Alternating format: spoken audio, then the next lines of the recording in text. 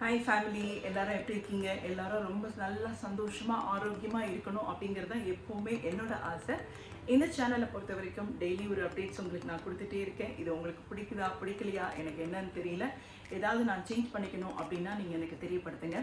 இன்னைக்கு வந்து சாட்டர்டே சனிக்கிழமை வந்து life style blog that is நம்ம வாழ்க்கையில் அன்னைக்கு எப்படி இருந்தது இன்னைக்கு எப்படி மாறி இருக்கும் இதுலேருந்து திருப்பி ஒரு ரொட்டேஷனில் என்ன போகிறோம் இப்படின்னு நிறைய விஷயங்களை நம்ம பேசிகிட்டே இருக்கோம் இல்லையா? அப்போ ஒவ்வொரு நாளும் புதுசு புதுசாக எதையாவது யோசிக்கும் போது இன்னைக்கு நாம பேச போகிற விஷயம் என்ன தெரியுமா? இந்த ஆக்ஷன் என்ன அர்த்தம்? கரெக்ட் நெத்தியில பொட்டு வைக்கிறது. நெத்தியில நாம பொட்டு ஏன் வைக்கிறோம்? அதுதான் இன்னைக்கான டாபிக் அதை பத்தி தான் இன்னைக்கு நாம பேச போறோம்.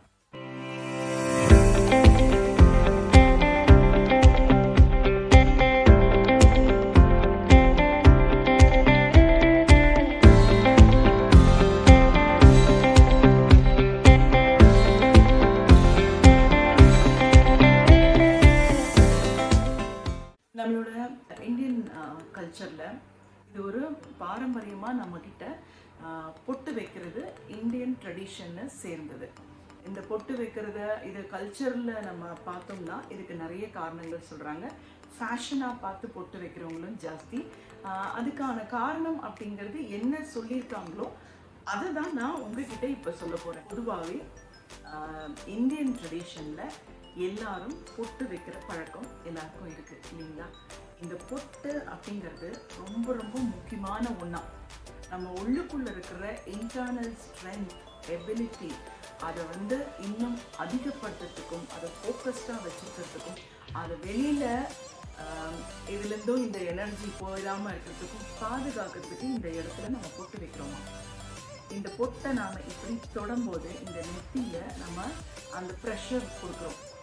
அதனால தான் இதை வைக்கிறோம் அப்படின்னு சொல்கிறாங்க அதாவது என்னென்னா நம்மளுக்கு வந்து மூன்றாவது கண் அப்படின்னா இந்த இரண்டு புருவங்களோட மத்தியில் இருக்கிற இந்த ஃபோர்ஹெட் நெற்றியை சொல்கிறாங்க அதனால் இதை வெறும்ன விடக்கூடாதான் இங்கேருந்து நிறைய எனர்ஜி ஜென்ரேட் ஆகுமா? நிறைய விஷயங்கள் இதுக்குள்ளூர் இருக்குது கன்சீல்டு விஸ்டம் அப்படின்னு சொல்கிறாங்க அதை வந்து நாம் வெளியில் தெரியாமல் அந்த இடத்த போட்டு வச்சு மறைச்சி வச்சுருக்கோம். அந்த ஸ்ட்ரென்த் அப்படியே உள்ளே வச்சுருக்கோம் அப்படின்றாங்க. என்னன்னா இந்த சயின்ஸ் படி நம்மளோட பாடி இயங்குறதுல சக்ராஸ் அப்படின்னு சொல்கிறாங்க பார்த்தீங்களா அதில் வந்து இது ஆக்ஞா அப்படின்னு சொல்கிறாங்க சிக்ஸ்த்து சக்ரா அப்படின்னு சொல்கிறாங்க இது வந்து என்னன்னா நம்ம வந்து நம்ம ஒரு கான்ஷியஸ் நம்ம ஒரு கடவுளோட கனெக்ட் பண்ணுறதுக்கு நம்மளை வந்து நம்மளோட ஃபோக்கஸை வந்து ஒருநிலைப்படுத்துறதுக்கு அஹ் அப்படிங்கிறதுக்கான ஒரு பவர் ஜென்ரேட் பண்ணுற இடமா இது.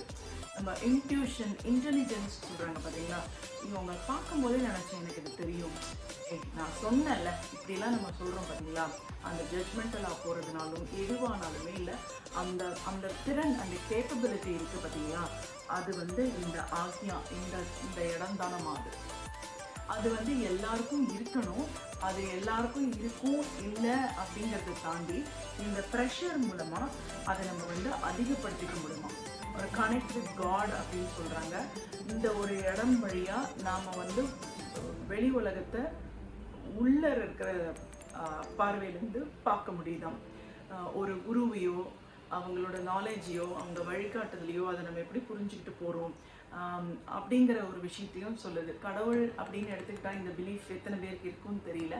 இது ஒரு ஹிந்து கல்ச்சரில் ட்ரெடிஷனில் இருக்குது. அதனால நம்பிக்கை இருக்கிறவங்க இதை ஃபாலோ பண்ணுறாங்க இல்லை அப்படின்னு எடுத்துக்கிட்டா கூட ஆக்ஞாங்கிறது இந்த பகுதி. ஸோ இதெல்லாம் வந்து ஸ்ட்ரென்தன் பண்ணுறதுக்கு நம்ம ஒரு விஷயத்த பார்க்குறோம்னா அதை ரொம்ப நடுநிலையோட பார்க்குறது. அதை ரொம்ப கூர்ந்து கவனிக்கிறதுக்கு ஒரு தெளிவான ஒரு சிந்தனை இருக்கிறது. இந்த மாதிரியான விஷயங்கள் எல்லாம் ஒருத்தருக்கு வந்து ரொம்ப நல்லா இருக்குது அப்படின்னா இந்த இடத்தோட பவர் இதுக்கு நாம் இந்த இடத்த இப்படி ப்ரெஷர் பண்ணிகிட்டே இருக்கோம் அப்படிங்கிறதுனால நம்ம இந்த இடத்துல ஒரு பொட்டை வைக்கிறோம். பட்டு வந்து அந்த ப்ரெஷர் கொடுக்குறது இது வைக்கும்போது அந்த ப்ரெஷர் இருக்குது இன்னொன்று இந்த இடத்த நம்ம வந்து கன்சீல் பண்ணி வைக்கணுமா? இந்த எனர்ஜி அப்படியே விட்டாமல் பாதுகாத்து நம்ம புள்ளியே வச்சுக்கணும் அப்படின்லாம் சொல்கிறாங்க ஆண் பெண் யாருமே யா- எல்லாருமே இந்த நெத்தியில் பொட்டு வைக்கிறதுக்கு பெண்களுக்கு மட்டும் இல்லை.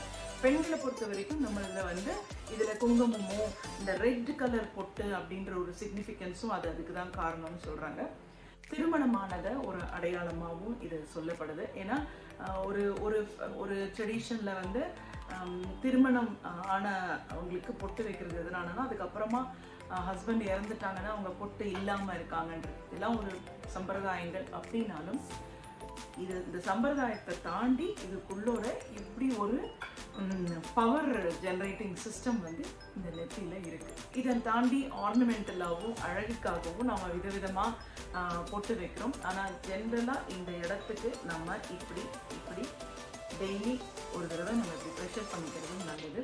நம்மளோட சக்தி வெளியில ஆஹ், போகாம நம்மளுக்குள்ளேயே வச்சுக்கிறதுக்கு பொட்டு வச்சுக்கிறத பழக்கமாக்கிக்கலாம்.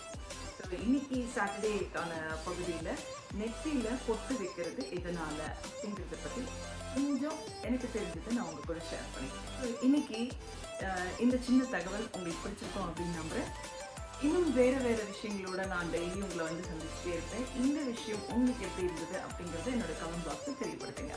மீண்டும் நாளை நோ சண்டே ஹாலிடே மீண்டும் திங்கட்கிழமை புத்தகம் பகுதியில் உங்களை சந்திக்கிறேன். நன்றி.